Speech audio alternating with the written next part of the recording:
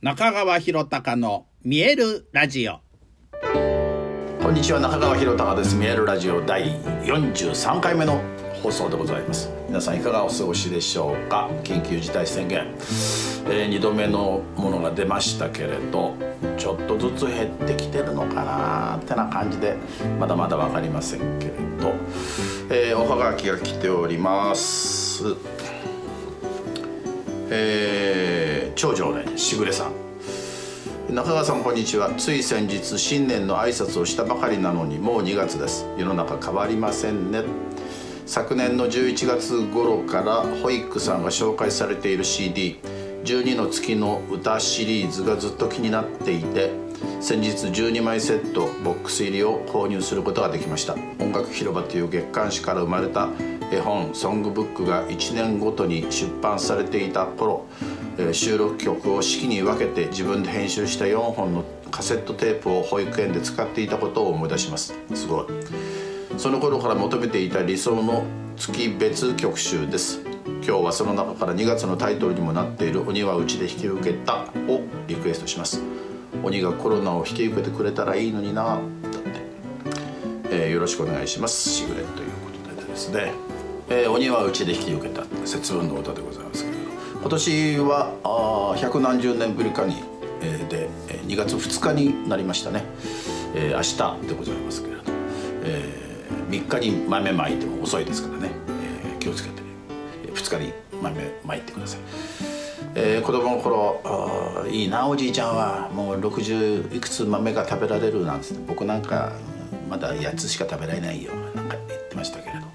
まあ、66になりましたけど66食べられないね。お腹いっぱいになっちゃうもんね膨れて。えー、鬼はうちで引き受けたっていう歌ですけれどこれは新津和俊彦と初めて作った歌であります、えー、連載になるそのきっかけとなる重要な歌であります。では聴いていただきます「鬼はうちで引き受けた」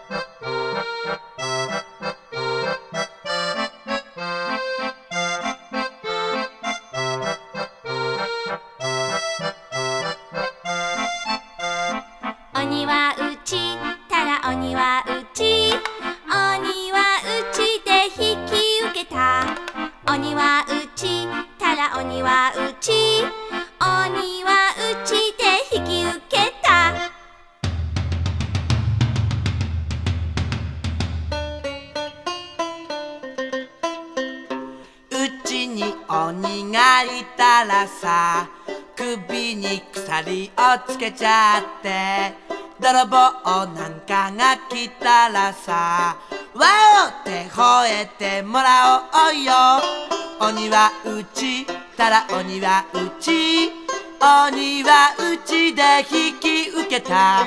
鬼はうちたら鬼はうち。鬼はうちで引き受けた。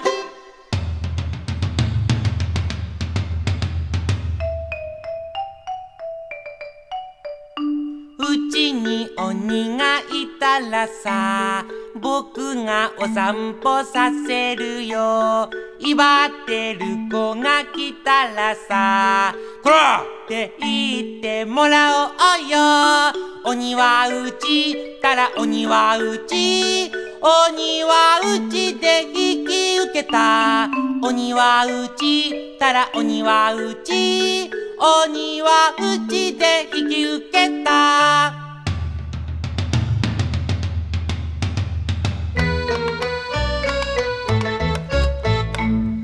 ちに鬼がいたらさ一緒にこたつに入ろうよ鬼は爪が長いからみかんをむいてもらおうよ鬼はうちたら鬼はうち鬼はうちで引き受けた鬼はうちたら鬼はうち鬼はうちで引き受けた鬼はうちたら鬼はうち鬼はうちで引き受けた鬼はうち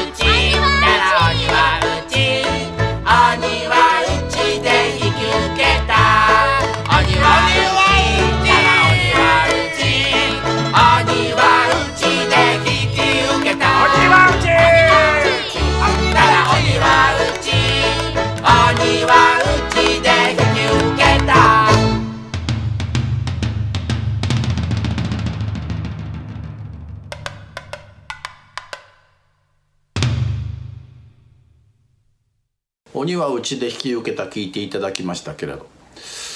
これはですね「え、音楽広場」という雑誌が、えー、1986年の11月に創刊されましてその時、えー、僕は作詞作曲のページを受け持ったんですね、えー、作詞も作曲もするページで毎月新しい今月の歌っていうのを発表するっていうことになっていたで11月の歌12月の歌作って1月の歌作ったんだけどなかなかこう詩のところでね苦労していたんですよであの新座俊彦という学生当時学生だったけどトンボさんのところでこう出会ったりなんかしてですねその帰り道「君は何になりたいんだ?」って聞いたら「作詞家になりたい」って言うんですよ。鹿かっつって鹿じゃないんですけど、ね、作詞家になりたいと。えー、詩人じゃなくて？って言ったら、うん、作詞家ですって言うんですよ。でまあそれがちょっと頭にあってそれでまあ1月号も書いたんですけど2月になってもうちょっと忘れてたんですね締め切り歌を書くのを忘れてで編集部からこう「まだですか?」なんて言って慌ててこう考えたんですけどなかなかいいのが出て出てこない。でその時にあし作詞家になりたいってやつがいたなと思って。それで心臓のとこに電話してうん、あの節分の歌でもなん、まあ、2月の歌なんだけどさ節分の歌でいいからさなんか書いてよって言ったらものの30分もしないうちにこう電話がかかってきて、えー、当時はねファックスもありませんから電話送りなんですね。で「いいですか?」とかって言ってうち、ー、に鬼がいたらさそれをこう電話でこう、ね、聞きながらこう書くんです。でもう面白いわけですよ、うん、でもう一つあります「えー?」って。もう全部で3つかな。でそれを 30, 30分の間にこう書いてきて「えー、これは素晴らしい」っつって。とりあえずまあ急ぎですから。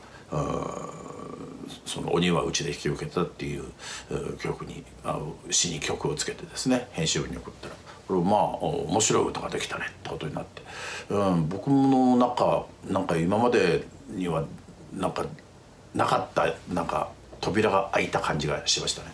なんか新しくすごくポップなメロディーがあの出てきたんですよ。えー、これはなんかいいかもしれないねって言って4月号から「新座との連載が始まったんですね。という記念すべき曲でありました。えー、っと別のお便りを紹介します。節分ですね。えー、少し泣ける絵本園長先生がかっこいいお庭打ちをぜひ読んでください、えー、山形のさえちゃんからですね。えー、同様のリクエスト長岡のきねちゃんからも頂いております。お庭うち見てもらいたいと思います。お庭うち中川博隆文村上康成へ。あらあの子また来てるわ。僕お名前はうんニオニオくん？ニオくんも野球やる？うん。カキーン！わあ撃たれたスパン！ピュッ！バシッ！すごいニオくん。じゃあ次のバッター。つるあ大変！園長先生危ない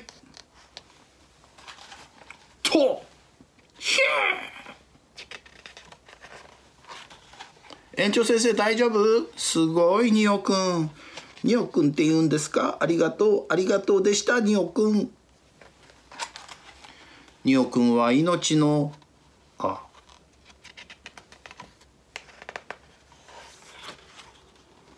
はいそろそろお部屋に入ってください。豆まきしますよ。どうしたのニオくん今日は節分です。豆まきしましょう。でもなんで鬼に豆ぶつけるの？鬼なんか悪いことしたの？そう昔の人は良くないことが起きると。それを鬼のせいにしたのね。みんな幸せに暮らしたいでしょ？それの邪魔をするのが鬼だと思ってたの。鬼は豆が嫌いらしい。そこで豆豆をまいて鬼が来ないようにしたのね。今も鬼っているの？いるわけないだろそんなやついたら誰っちゃえ俺逃げちゃうな。では園長先生豆まきのやり方を教えてください。鬼は外!鬼は外!いい鬼はうちえ？福は内でしょ園長先生。いい鬼ってそんなんいるの？はい。います。きっといます。本当は鬼も私たちと仲良くしたいのかもしれません。一緒に遊びたいのかもしれません。あニオくんだ。おいニオくん。じゃあまたニオくんと野球の続きしよう。やったーすごいぞニオくん。左利きだったんだね。おしまい。えー、語学友からもおはがきいただいております、えー、語学友西澤忠さん。こんにちは。毎週楽しく拝見しております。初めてお便りします、えー、僕のリクエストはヨーヨーヨーの中の気持ちいいです。ダメだよって言われた時夕べ飲みすぎて頭が痛い時左の肩甲骨を折った時。肩甲骨折った去年7月に骨折をってこの歌に励まされます。ブラザートムさんとのコラボはかっこいいです。元気をもらいます。よろしくお願いします。えー、西田君このアルバム持ってたんだ、えーえー、久しぶりに聴きますね気持ちいい、えー、それではあブラザートムさんとのデュエット、えー、気持ちいいです。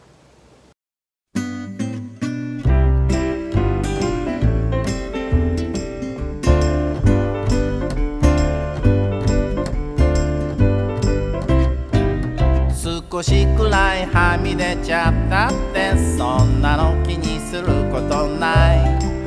狭い枠の中にいるよりずっと味があっていい少しくらい。へしゃげちゃったってそんなの気にすることない。まっすぐきちんとしているよりなんか変で面白い。雨に濡れてもお日様ってればすぐに乾く。くよくよしてる？暇なんてない。ねえ遊びに行こう。君と？君と僕は？僕は？同同じじゃない。じじゃない。だからだから楽しく楽しくなれ。なれ。るのさ。るのさ。僕たちはここにいる僕たちの声が聞こえるかい。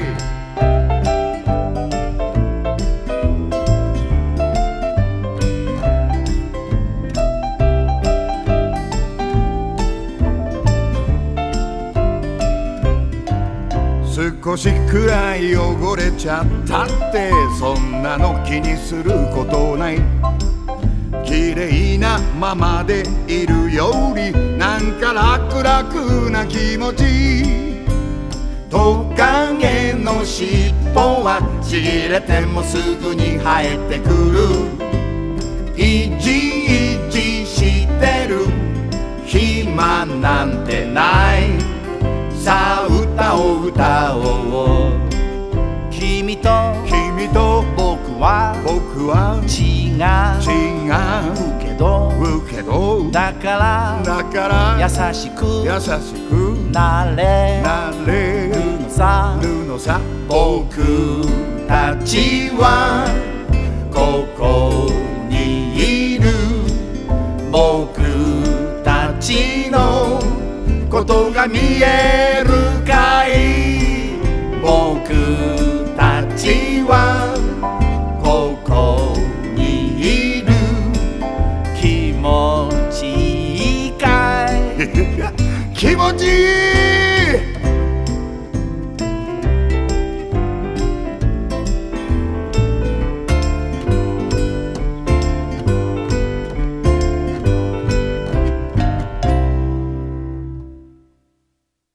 テレビじゃないのよラジオなの。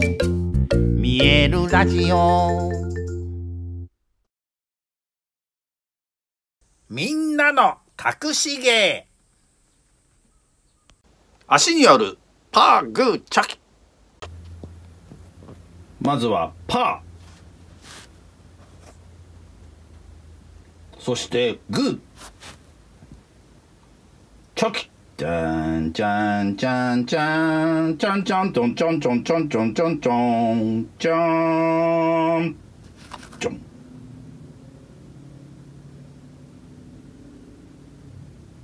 えー、大阪の大木恵美さんが知らない歌をかけるというコーナー新コーナーでございますね。大木恵美さんこの楽譜集持ってるんだけれど曲を知らないからかけてくれっていうそういう、えー、新企画でございます。えー、っとえー、4番目が亀の遠足になっておりますけどこれはこの間ね、えー、大木さん自分たちのグループスリーカズンズで歌っておりました。これは割愛いたします。次の「パレード」という歌ねこれは知らないかもしれないんでじゃあこれをかけたいと思います。パレードどうぞ。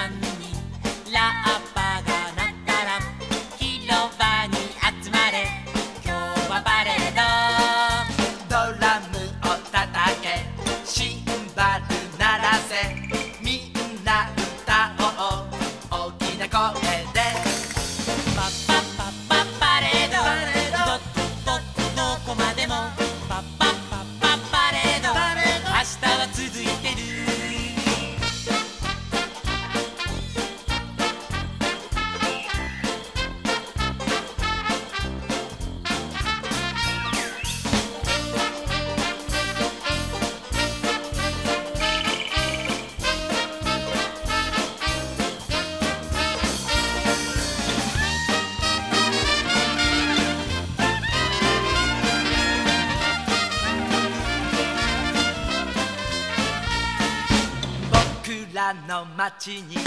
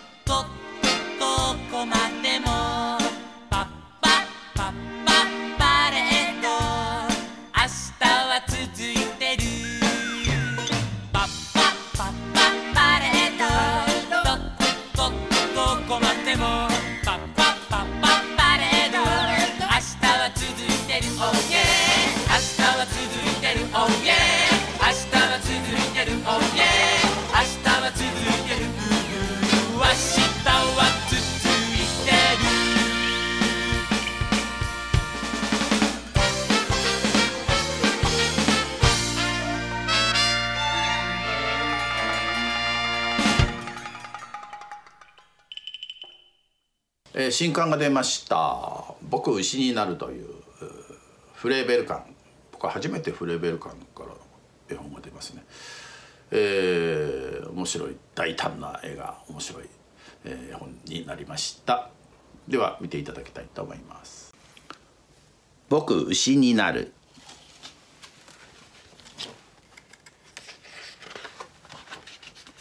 中川博隆作佐藤正則絵ごちそうさま。僕はそう言ってソファーに横になった。あれまたトマト残してこら食べてすぐ寝ると牛になっちゃうわよ。お母さんが言った。そんなわけないじゃん。と言おうとしたら僕はもうと言っていた。あれおかしいな。立ち上がるとそこは緑の牧場だった。お母さんと叫んでみたがもうとしか言えない。ここはどこ？走ってみると首のベルがカランコロンとなった。なんだこれ？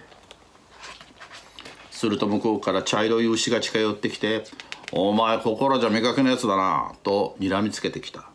白黒のでかい牛もやってきて「お前どこのドイツだ?」と言って顔を近づけてきた「やめてくれ!」僕は走って逃げた。逃げたところはスペインの闘牛場だったグラウンドの真ん中に闘牛士がいてかかってくるようにと赤い布をひらひら振っている。よし僕は思いっきり地面を蹴って全速力で闘牛士にめがけて走った。闘牛士はひらりと身をかわし僕の首筋に隠していた剣を刺そうとした。危ない!僕は危うく剣を逃れて向こうの門の方に走って逃げた。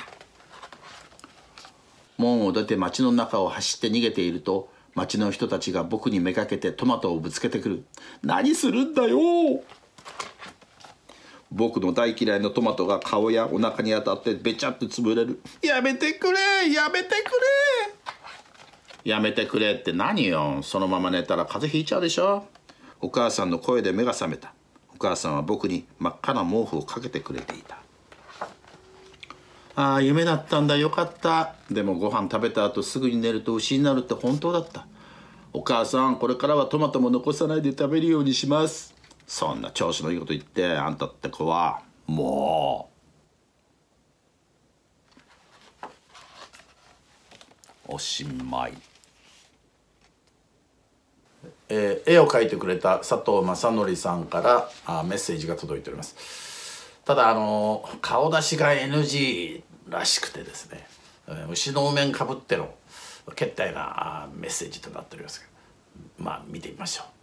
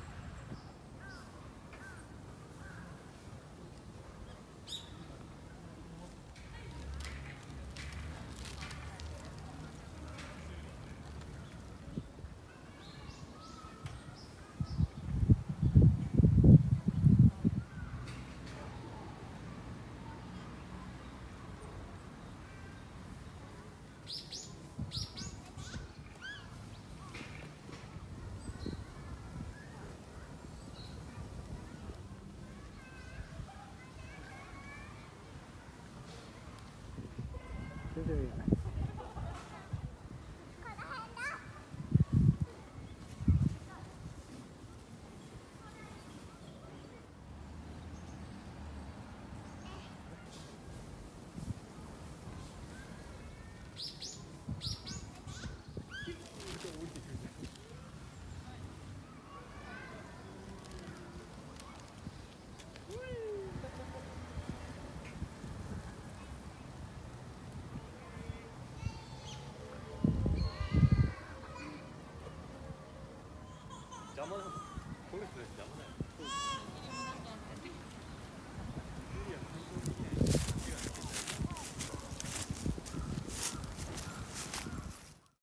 ピーマンてんてんの遊びのカタログ。スルスルスルスル滑り台登って降りたらさようなら。スルスルスルスル滑り台登って降りたらさようなら。歌おう子供のバイエル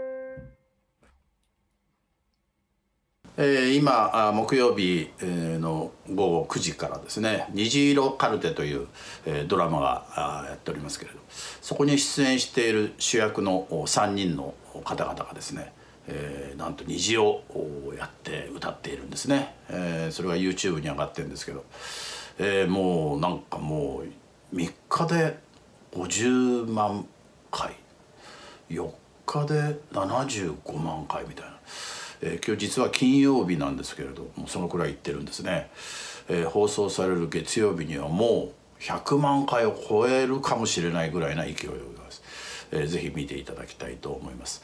えードラマもねドラマの中でもこう虹が挿入歌であったりして、えーなんか常にこう虹がこうバックボーンにある感じのドラマになってますね。あとなんか「虹歌っちゃいます」だっけな。なんかそういうキャンペーンもあって、えー歌うとおクリアファイルがもらえるというね。番組特製のクリアファイルがもらえるっていうんで新澤俊彦君はですねあの応募しようかと言ってました。どこまですごいんだと僕は思いましたけれどね。ということでね、えー機会があったら見てみたらいかがでしょうか。乳酸菌火の高ぶラジオ。えーこの絵本新井くんの出版を記念いたしましてオンライントークライブサイン会が行われます、えー2月の11日、えー木曜日祝日ですね、えー2時から行われます、え1週間の見逃し配信もついておりますのでその日都合が悪い方でも、えーご覧いただけます。えー中川そして、えーデザイナーの下山君あと編集者たちとですねこの新井君のメイキング話をしたいと思います。えーサイン会ですけれどリモートサイン会といってね、え1対1になりまして僕と少しお話ができて、えーそれから写真撮影もしてですね、えーサインを書いてお見せしてで後日それがあ発送されるという、えー先着50名様までの限定サイン会でございますけれど、えーふるってご応募ください。えー鎌倉由比ヶ浜通りのソングブックカフェでございますけれど、えー2月からあ営業日が変更になります、えー木土日。この3日間だけ営業することにいたしました、えーまあやっておりますんでね、えーぜひ来てください、えー最後にもう一枚お便り読みたいと思います、えー名古屋の熊崎悦子さん。こんにちは中川さん。初めておはがき出します。コロちゃんが暴れすぎて。コロちゃんコロナコロナのことだ。コロちゃんが暴れすぎて今までコンサートや旅行に出かけて普通に会えていた皆さんや友人たちと画面の中でしか会えない寂しさ実感しています。そんな時君と僕のラララの歌歌詞メロディーに力をもらいました。僕の見る空と君の見る空はつながっているからのところではいつも泣いてしまいます。早く実際にコンサートでお会いできて歌を聴けておしゃべりできますように。というお便りいただきました。それでは君と僕のラララ、えー早くね皆さんと会えますように、えー祈りながらこれを聞いておしまいにしたいと思います。それではまた来週。さよなら。